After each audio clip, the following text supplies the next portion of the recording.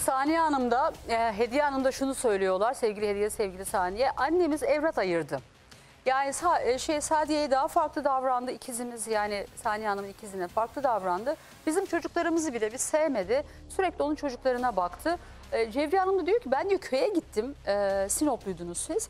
E, Sinop'un işte e, merkeze bağlı Bektaşağı köyünde. Köye gitti gittiğim için onunla beraber yaşıyordum. Dolayısıyla ben o sırada ona e, onunla ilgi gösterdim. Yoksa ben evlat ayrımı yapmıyorum ama Saniye'nin şu şu hataları var. İşte Hediye'nin şu şu hataları var.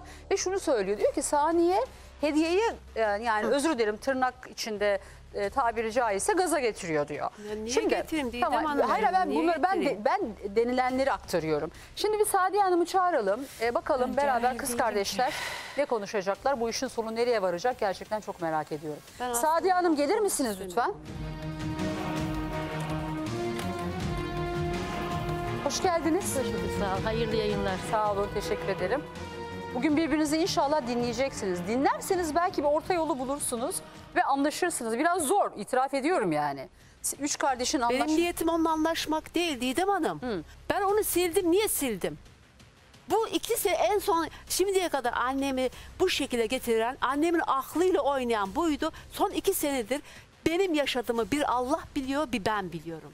Allah'a havale ettim. Peki e, annenizin evlat ayrımı yaptığını söylüyorsunuz. Yine Ya ben- Sadiye'den mı kaynaklanıyor Şöyle bu? bir şey. e, ben direkt bunu demek istemiyorum. E, annemin şu an yaşlılığına veriyorum.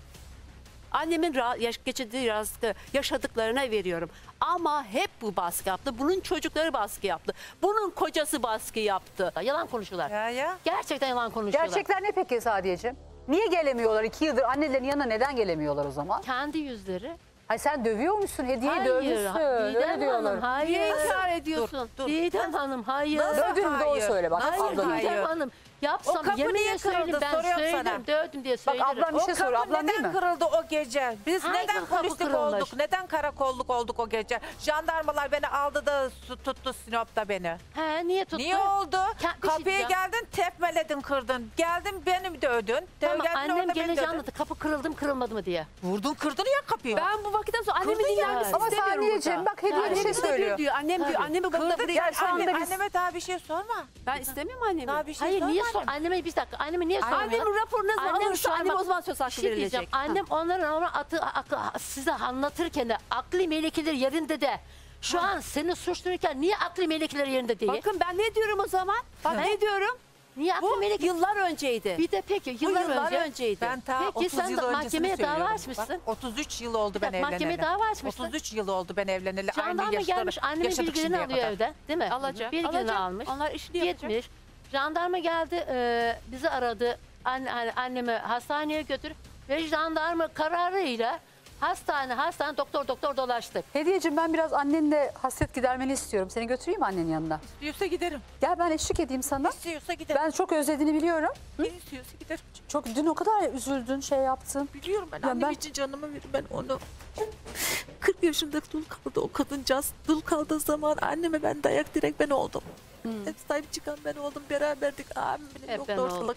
Tamam. Hadi gel Onlar bakalım. ufaktı o zaman. Bir hasret gider çünkü çok özlediğini biliyorum. Biliyorum Çok dün kendini yerden yere attın. Mahvoldum ya ben biliyorum. Çok Evet. seviyorum annemi. Ben Gel onun bakalım. üstünde titriyorum ben annemin üstünde titriyorum. Gel. Bak hediye getirdim işte. sana. Bak, Görüşmeyeceğim, Bak görüşmeyeceğim. işte. Ya otur otur yanına. Niye Neden istemiyorsun? anne böyle neden yapıyorsun Yavrum anne? etme yavrum. Anneciğim bana neden bunu yapıyorsun? Seni özlemiş özlemiş. Anneciğim, Bak biz anneciğim, konuşuyoruz hep anneciğim. diyor ben. Ben duyuyorsun biliyorum. Anneciğim. Aşkım benim özlemiş Anneciğim, seni özlemiş. Anneciğim her sene geliyordum biliyorsun da elini ayağını öperken nasıl ağlardım beni. Ben- ben- biliyorsun değil mi annem? Bi- Biliyorsun değil mi anne? Bir hasret gidersinler ben içeri geçiyorum. Biliyorum Sen anne, burada biliyorsun değil mi kal. anne? Ben geçtim içeri. Annemi evlatlarıyla görüşümü bile etkiledi. Bunlar sadece bunlar kıskandılar bizi anneme olan Yazıklar ilgimizi ya.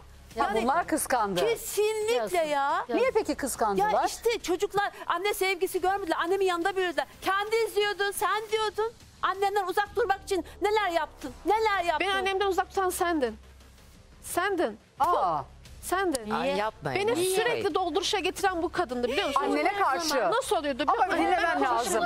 Ha Sadiye dur dinlemem lazım. Bak Üniversite okuyorum. daha Nihal konuşsun. Zırt pırt benim telefonu arıyor. Annen şöyle, annem böyle. Ben annemi, annemi bana Ne kötülüyor. bahsediyor annenden ne diyebilir ki anne? Kötülemiyorum. Diyorum ki Yer annem kavgası bana bir varmış. mesaj attı kızım diyorum. Annene diyorum bir şey söyle diyorum. Bu kötülemek mi? Kötülemek değil de ne? Bir şey söyleyebilir miyim? Annenle ilgili ne kötülüyor sana? Söyle söyle. Ha. Ne? Yok yer ka- yer kavgası. Bunların ya bıktım gerçekten. Yer kavgasıymış, emekli maaşıymış. İki yüz. Artık bıktım bunlardan gerçekten Didem Hanım. Ya sürekli aynı şey, sürekli aynı şey, sürekli Aynen, aynı aynen. şey. O senin annen. Hadi Ben, gel. Didem Hanım ben şunu söylemedim size. Bir, bir yandan yürüyelim Ben- konuşalım. Ben şunu söylemedim size. Heh. Bu camcının olayında bir olay daha var. O olayı da an- anlatacağım. E, e, Yani seni bir anlamda işte hmm, eşini aldatmakla ya da bazı şeyler itham ettiler. Yok seni hiç görmek istemiyor. is- ya, yani ne yaptın? Allah'ın aşkına ne yaptın? Anne sana bunlar ne yaptı? Anne ne yaptı? Sen demiyor muydun bunlar beni mahvettiler diye? Onlardan başka sen de Ne yaptım anne söyle ne yaptım? Ya ben- Allah aşkına ne yaptım? Babam parasını, parası sen çekmedin, ben çekmedim. Evi ne yaptık? Evi neyle yaptık? Ev, bahçeni yaptım. Kedi köpek yamamasını getirdim. Seni hastanelere götürdüm. Bunu neyle yaptım annem? Peki yedim, içtim. Ha. Aç davanı. Varsa öyle bir hata vereceğim. Peki ben senin çocuk değilim. Ne, ne dedin? Ben senin çocuğun değil miyim? Sen çocuğun olsaydın. yazık ama, çok üzücü ya, Kalk git Sadiye. buradan demem. Ne anne nasıl dedim? Görüşsünler Didem Hanımcığım. Niye koymuyorsun ya? Bak hediye, hediye. ben- Neden koymuyorsun Ben aslında sana çok sarılmak istedim. Hadi sarıl ya ne olur bir sarıl ya. Sarılmak istedim. Aslında sen bunu istemiyorsun. Sadiye'ye. Hadi Ya hediye aldım ya. Allah ben sana sarılmak istiyorum. Hediye sarılsın. Sarılmayacağım. Sarıl. Bak ben sana bak şunu sarılmayacağım. diyorum. Sarılmayacağım Sen ya. bak- Çok kırdın beni. Kırmadım ablacığım bak. 33 yıldan beri ben o kapıya gidip Kırmadım geliyorum. abla, Beni bak. mahvettin. Bak Beni senin mahvettin. çocukların yüzüne sen beni izledin. Hayır. Yalan yok ablam yalan yok. Bak bunları yemin ederim. Eğer En senin Furkan en iyisi o. oğlum bak yemin ederim Furkan sarıl. bir şey var. O Gel gel. Dinlersinler Hamilesi. seni. Hakikaten onlar benim cebimden para izlettikleri arasını arasında Teyzesi. Teyzesi hamileymiş. Anne desin böyle böyle. Hakikaten teyzem onlar haklı desin ya. Bunlar haklı desin ya. Ben haklıyım da ama ben paralarımı almadım. Yapmadım benim para için suçlamazlar. Benim maddi imkanım çok iyi. Kız kardeşin sana sarılmak Annem seni çok seviyor. İstemiyorum. Lütfen. Bence sarılsın. Lütfen. Hadi müsaade et. İstemiyorum. Gerçekten Müsaade et. çok seviyorum. Müsaade et. istemiyorum. Benim hakkım için bir sarıl sonra. İstemiyorum. Hadi bir sarıl Seni çok lütfen. seviyorum. Sen gel. Benim Gel. buna kırgınlığım yok. Seni dövecek mi? Gel gel. Benim kırgınlığım yok. Gel, ben otur. aslında bunu var ya yemin ediyorum. Ben benim aslında ablamı çok seviyorum. Ben her zaman söyledim. Ben ablamı seviyorum. Ama çok Ortalığı tatlısınız. karıştıran saniye oldu. Ha, saniye de bence onunla da anlaşırsınız.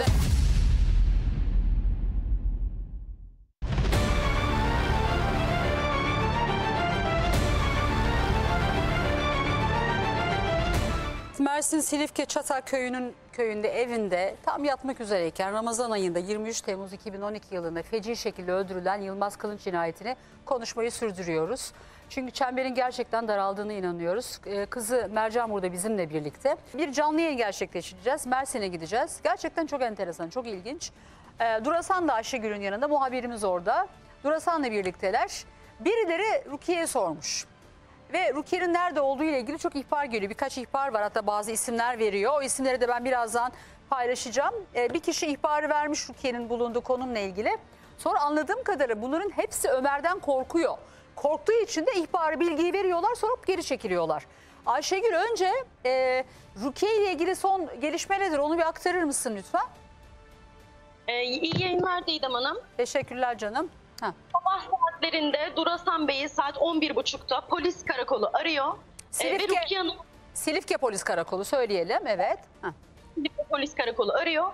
Durasan Bey'e Rukiye Hanım'ın yanında mısınız diye soruyorlar. Ee, Durasan Bey ise ben yanında değilim. Ee, ama Ömer Yel'in orada olduğunu e, düşünüyorum. Haçka mevkisinde diye polis e, karakoluna bilgi veriyor.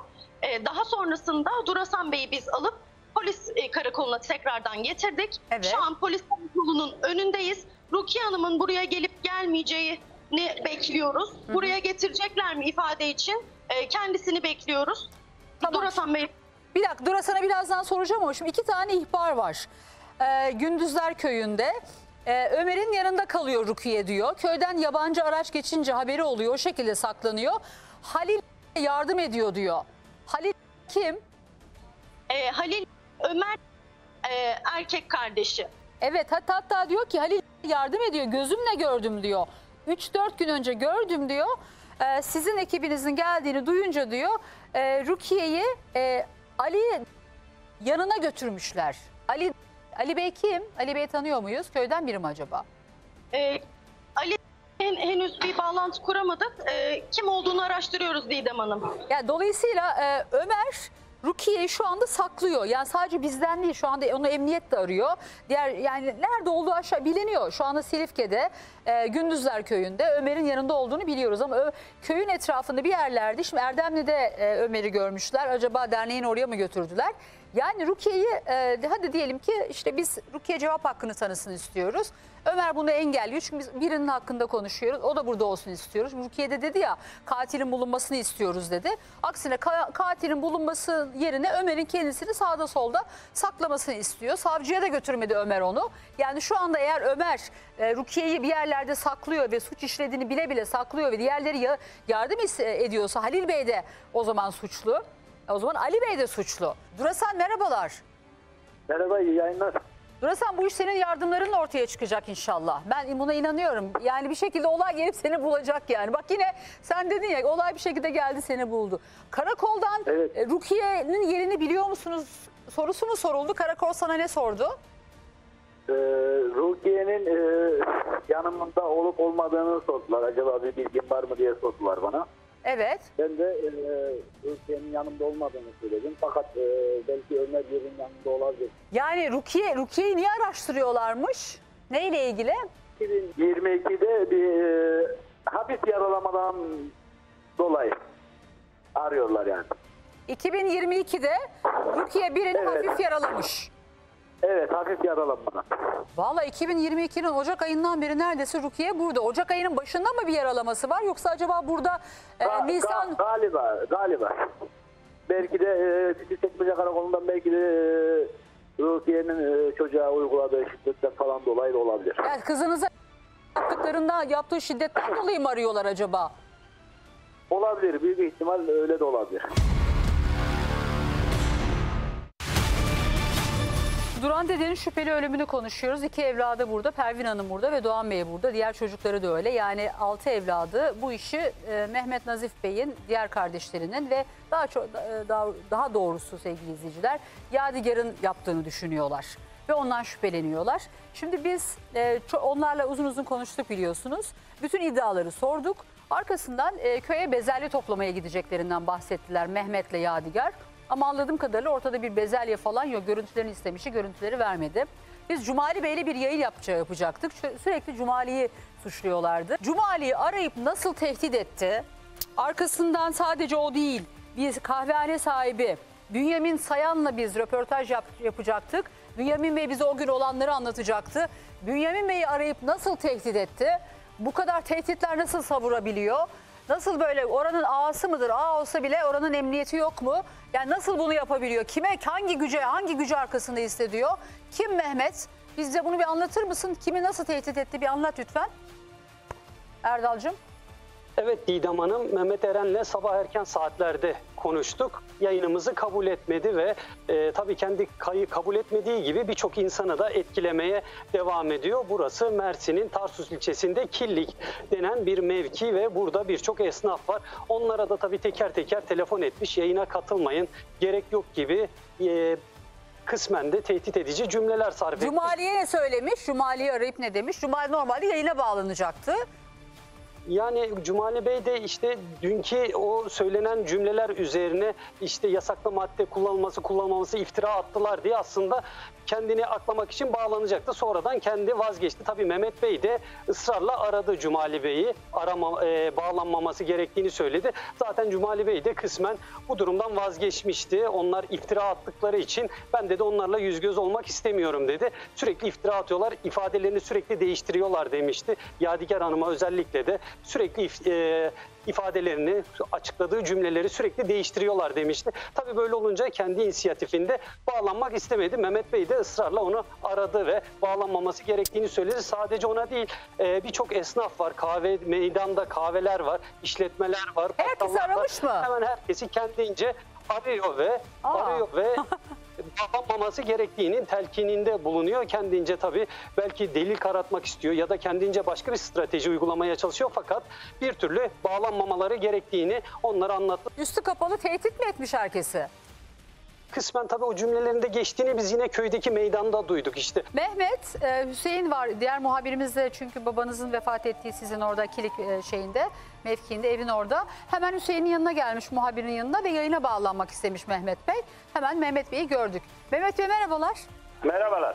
Mehmet Bey e, sizin Cumali'yi, kahvehane sahibi Bünyamin Bey'i tehdit ettiğiniz söyleniyor. Kesinlikle. Ben sevincimi, siz dediniz ki yargısız infaz yaptı. Ben sevincimi bütün köylüyle paylaşmak istedim. Ne sevincini paylaştın? Köy Yani meydanına dedi- gidip köy ki- meydanına gidip bağırdın mı? kesinlikle, Köy meydanına kesinlikle gidip şey bağırdın mı? Niye bağırıyorsun? Anlamadım ki Mehmet ya.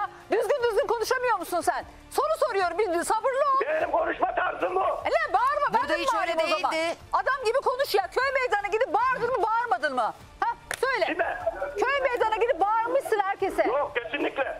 Böyle bir şey yok Didem Hanım. Niye telefonla- öldürüldüğü meydana çıktı da ona mı sevindin? He? Katilin Yok, bulundu da ona mı sevindin kardeşim? Elhamdülillah biz suçsuzluğumuza inandık. Herkes elhamdülillah. Bellemişsin bir Suçsuzluğumuza elhamdülillah, elhamdülillah. İftira atma. Niye İftira herkesi atma. tehdit ediyorsun sen? İftira atma. Kimseyi tehdit etmedim ben.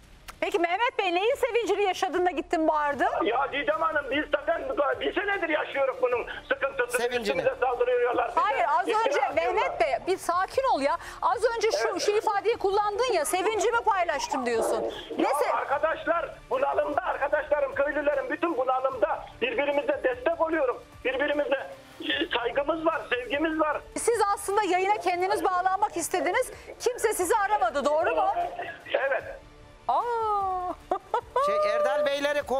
bahçeden dün görüntüleri gördünüz. Kovanlar Kesinlikle- kimmiş? Kesinlikle kimseyi kovmadı. Mehmet Allah seni bildiği gibi yapsın. Hüseyin'i bir göreyim, Hüseyin'i göreyim. Hüseyin, biz canlı yayın davetinde bulunduk mu? Ben bulunduğumuzu biliyorum da bana bir anlat. Şöyle Hüseyin bir yandan e, şey e, kamerayla e, Mehmet'i gösteriyor, bir yandan yayın yapıyor. Bağırma canım ne bağırıyorsun? Bir sakin ol. Aa. Hüseyin. Hüseyin konuş. Hem yayın yapıyor. Dün Mehmet Bey ile kendisiyle röportaj yaptıktan sonra e, kendisini canlı yayına davet ettik. Ancak kendisi yayına katılmak istemediğini belirtti. Ne zaman dedin? Dün canlı yayına dedik ya İstanbul. Arkadaş sen demedin mi bu iş bitti. Savcıdan şey Hayır. geldi. Katılmayacağım abi demedin mi? Yayına katılmanızı Ya istedik. bırak Mehmet Hüseyin abi sen niye böyle diyorsun? Gerçekleri İstanbul. Allah bak niye, niyetlisin. İstanbul'a gelin demiştik ya size. ya. Cinayete ver Abi bak burada yayına katılan, katılacak mı katılmayacak mı dedi. Tamam. Siz de katılmayacağını söylemediniz mi Mehmet Bey. Arkadaş sen dedin yayın e, şey savcı bitirdi olayı katılmana gerek yok dedin. Siz dediniz ya ben gelmek istemiyorum. Ya eşimle bırak beraber. ya, bırak abi ya bırak ya. Bırak abi siz ya. Neden Erdal'ı istemiyor da Hüseyin illa? Yayına katılırız yayında birisiniz. Her zaman.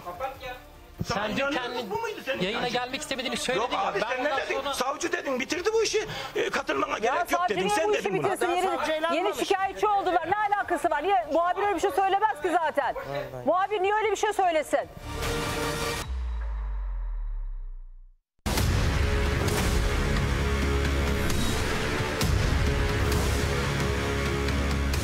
Duran dede öldü. Oğlu Mehmet kaçtı. Ben sevincimi bütün köylüyle paylaşmak istedim.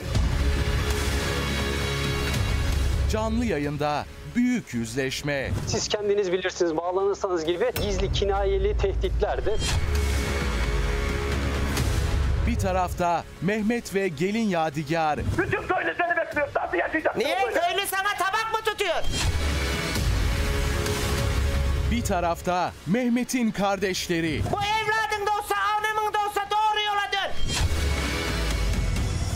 Az sonra Didem Arslan Yılmaz'la vazgeçmede.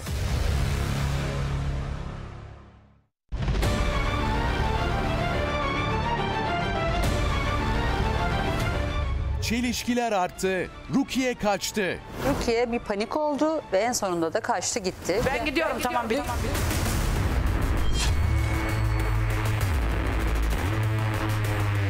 İhbarlar orayı gösteriyor. Ömer'i gördüm belediyenin önünde. Ömer Rukiye'yi şu anda saklıyor. Herkes Rukiye orada saklanıyor dedi. Gündüzler köyü sakinleri de şu anda çok korkuyorlar. O köyden canlı yayın. Şu anda Silifke Emniyeti de Rukiye'yi arıyor. Vazgeçme. Rukiye'yi bulabilecek mi? Kadının çünkü sicili temiz değil. Ne yaptığı belli değil, başına ne geleceği belli değil. Az sonra Didem Arslan Yılmaz'la vazgeçmede.